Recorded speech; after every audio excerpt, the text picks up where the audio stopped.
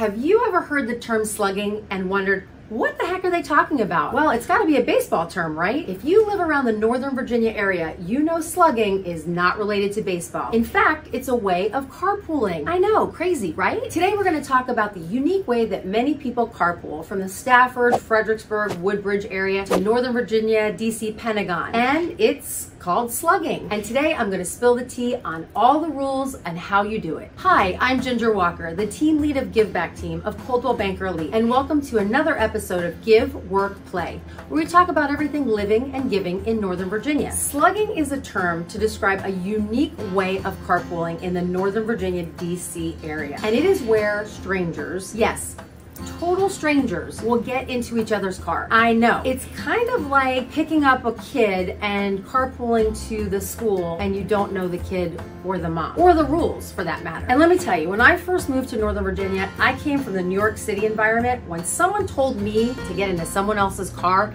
I thought they were crazy. But it's super normal here and it's a great way to commute. And the cool thing is, not only is it a unique way of commuting, opposite of what mama told you probably when you were growing up, don't get into a car with a stranger, but it's free. It's totally free. And the neat thing is, it's probably a faster option than catching the bus, catching the train, or catching the metro. So this is a great option for you to consider. And let me explain a little bit more why. So no one knows exactly when slugging started in Northern Virginia, but from doing a little bit of research, it seems to have started somewhere about 1975.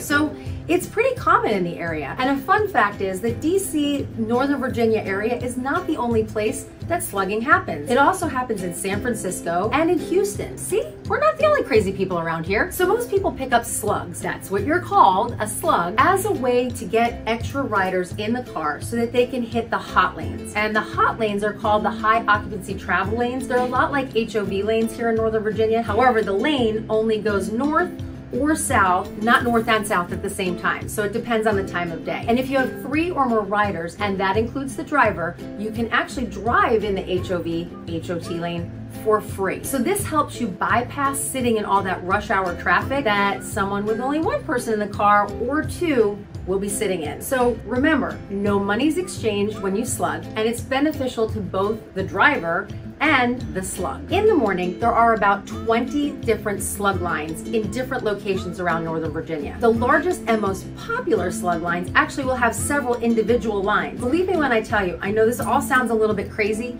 but it's actually pretty systematic in its approach. And these individual lines you form based on the destination to where you want to go. So it's kind of like a taxi line or kind of like calling an Uber, but not really. You actually just get into the line. Like if you're going to the Pentagon from Stafford, there's actually a line, maybe two, just to the Pentagon. So you know you're hopping in the right car. Lines may form from such destinations as like the White House or the Pentagon or the Navy Yard or 14th and Newark. And yes, you can slug from south to north in the morning and from north to south in the afternoon. At this point, you're probably thinking, Ginger, how does all of this work? It's really easy. The slug lines start at about 4.30 in the morning and they go until about 7 a.m. So what do you need to do? You need to get yourself up in the morning, have your breakfast, brush your teeth, get your clothes on, get in your car and drive over to the slug line. Park your car and then get in the line. And if you're not sure which line, check the car because a lot of times they're gonna flash a sign up for where their final destination is that morning. Jump in the car and go.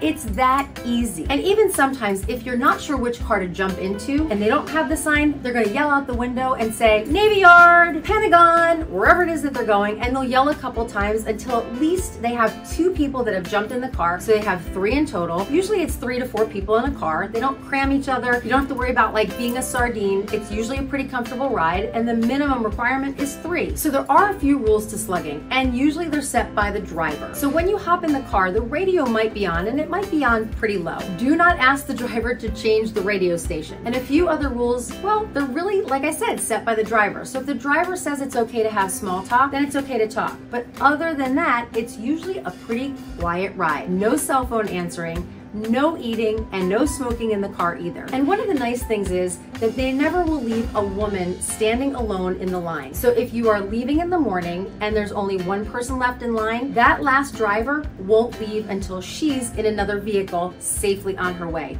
And the same thing with coming home at night. So no female is left standing alone. It's a safety thing. It is an unwritten rule, but it is something just really nice to know if you are a female driving in the slug lot or being a passenger in this slug lot, in fact. And just a few other things to remember is it's completely free. So there's no exchange of money, no tokens. The only thing that's required is a thank you. Also, there's no need to give directions or say, hey, could you drop me here or could you drop me there? Because the destinations are actually known. So let me give you an example. If the destination is Rosslyn, it means the metro station in Rosslyn, not anywhere else along the way. So pre-COVID, thousands of people would slug in a given day. But when COVID happened, obviously that was not recommended. Rumor has it that people are still slugging today, but with so many people working from home, the numbers are not the same as they were back in 2019. So a lot of people are actually taking the option of going to Facebook message boards to see who's commuting, what time they're going, and what their final destination is so that they can plan their commute a little bit easier. So I hope this video gave you some insight into what slugging is. And yes, it is a real term and it is a real thing and a great option option for commuting. As promised at the beginning of this video, I'm going to drop a link right below